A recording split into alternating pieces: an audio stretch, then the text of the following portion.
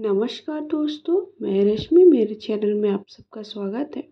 साल 2023 में वट सावित्री व्रत 19 मई दिन शुक्रवार को पड़ रहा है।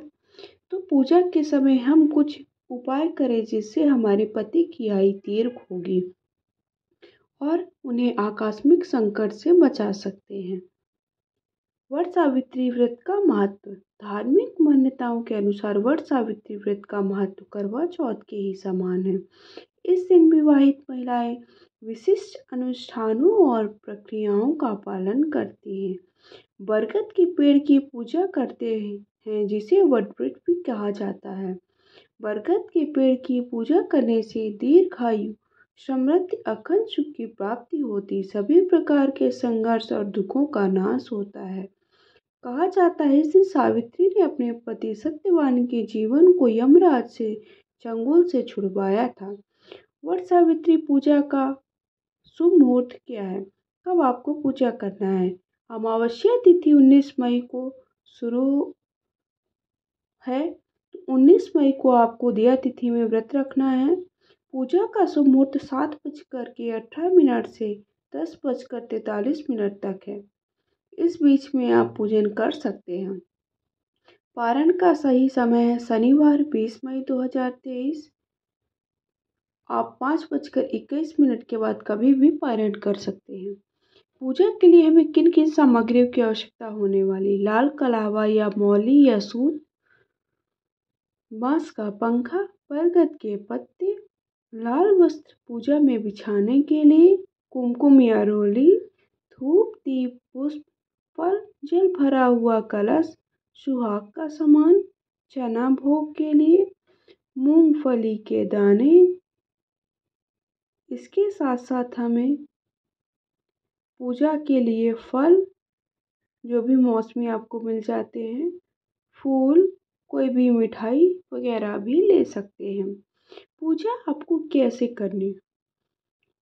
वट सावित्री व्रत के दिन महिलाएँ सुबह स्नान कर लेवे स्नान के बाद नए कपड़े, चूड़ियाँ पहने, माथे पर सिंदूर लगाएँ वट या बरगद के पेड़ की जड़ को जल अर्पित करें, गुड़, चना, फल, अक्षत और फूल अर्पित करें, व्रत कथा पढ़े एवं सुने।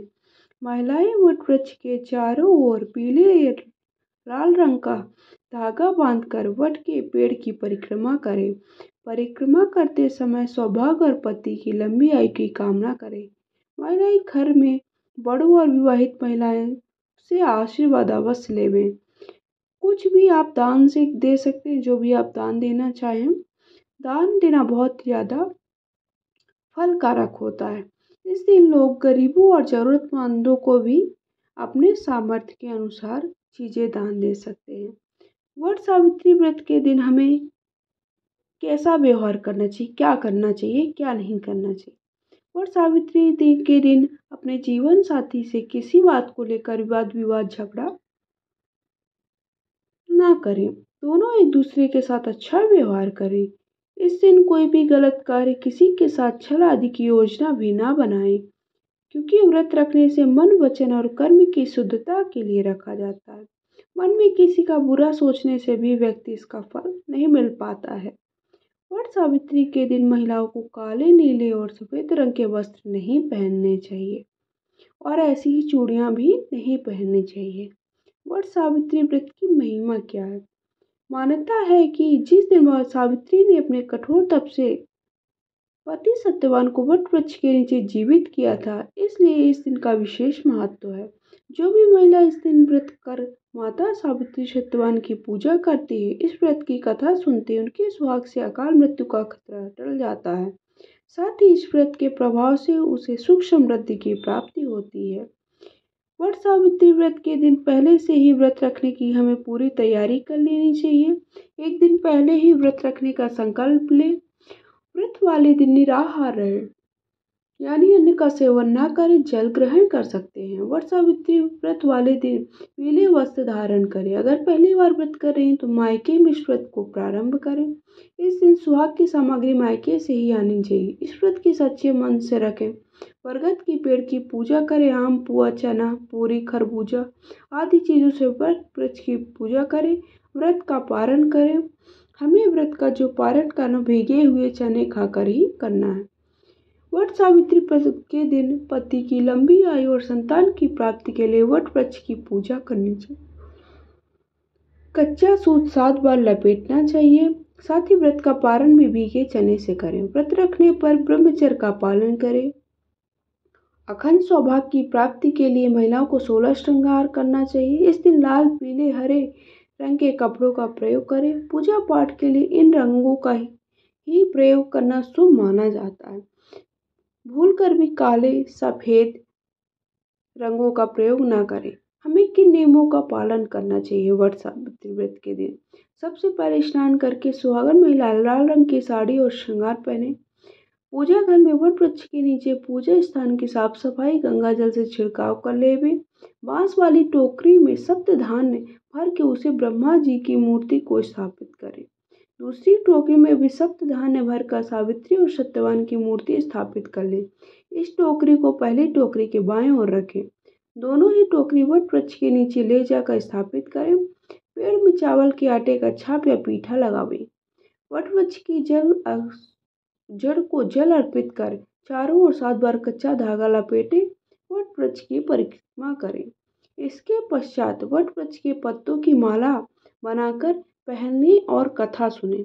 तो इस तरह से मैं वट पूजा की आपको सारी जानकारी देती हूँ। वीडियो कैसा लगा ज़रूर बताइएगा।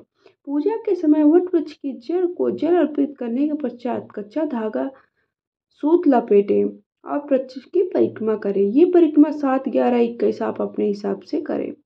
चने का बायना, कुछ पैसे अपनी सास को दें, आशीर्वाद प्राप्त करें फल, अनाज, कपड़ा आदि एक टोकरी में रखकर ब्राह्मण को दान दे।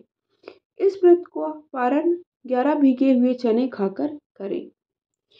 इस दिन आप कुछ उपाय अवश्य करें। काली गाय जिस पर कोई दूसरा निशान ना हो, का पूजन कर आठ बूंदी के लड्डू खिलाकर उसकी परिक्रमा करें। उसकी पूछ से अपने सिर को आठ बार झाड़ दे। काला सूरमा सुनसान स्थान में हाथ भर गड्ढा खोद कर गाड़ दे। कुत्ते को तेल लगाकर रोटी खिलाएँ। पीपल वृक्ष की परिक्रमा करें। समय प्रातः काल में मीठा दूध वृक्ष की जड़ में चढ़ाएँ, तेल का दीपक पश्चिम की ओर बत्ती कर लगाएँ। ओम शम शनश्चराय नमा। मंत्र का पढ़ते हुए एक एक दाना मीठी नुक्ति का प्रत्येक परिक्रमा पर एक मंत्र तथा एक दाना देवता से कृपा प्राप्त करने के लिए प्रार्थना करें। 800 ग्राम तेल 800 ग्राम सरसों का तेल दान करें। काले कपड़े नीलम का दान करें। हनुमान चालीसा पढ़ते हुए प्रत्येक चौपाई पर एक परिक्रमा करें। इस तरह से आपको मैंने अलग अलग चीज़ें बताई, इनमें से आप कोई भी उपाय अवश्य करें। कांसे की कटोरे को सरसों या तेल, तिल के तेल से भरकर उसमें अपना चेहरा देखकर दान करें। शनि यंत्र धारण करें अथवा काले घोड़े की नाल या नाव की कील का छल्ला बीच की उंगली में धारण कर लेवे। तो इस तरह से को अकाल मृत्यु से बचाने के लिए और उनकी आयु दीर्घ हो इसके लिए कोई ना कोई उपाय अवश्य करें और इन सब बातों का ध्यान अवश्य देवें जानकारी कैसी लगी कमेंट करके ज़रूर बताइए। पहली बार चैनल कर दीजिएगा, सब्सक्राइब, लाइक, शेयर करिए।